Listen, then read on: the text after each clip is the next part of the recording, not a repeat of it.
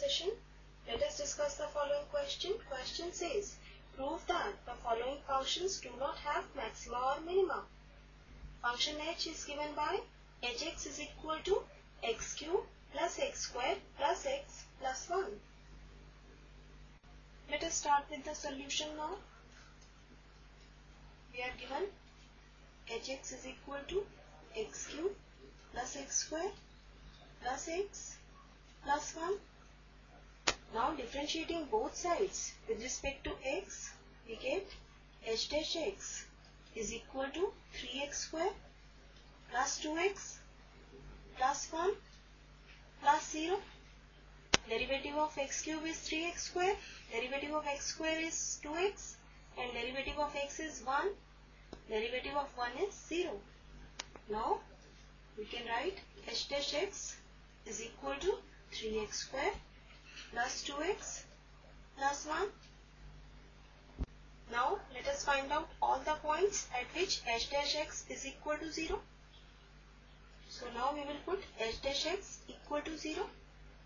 We get 3x square plus 2x plus 1 is equal to 0. Now this implies x is equal to minus 2 plus minus square root of 4 minus 4 multiplied by 3 multiplied by 1 upon 2 multiplied by 3. Let us recall if we are given an equation ax square plus bx plus c is equal to 0 then x is given by minus b plus minus under root b square minus 4ac upon 2a. Now simplifying this expression we get x is equal to minus 2 plus minus square root of minus 8 upon 6. Now this implies x has imaginary values.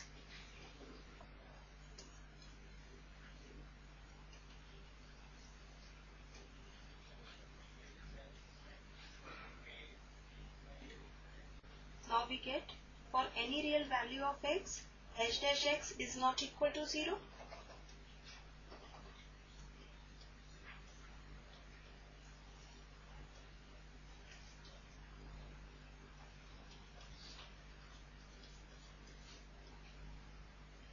So our required answer is hx equal to x cube plus x square plus x plus 1 does not have maxima or minima. This completes the session. Hope you understood the session. Take care and have a nice day.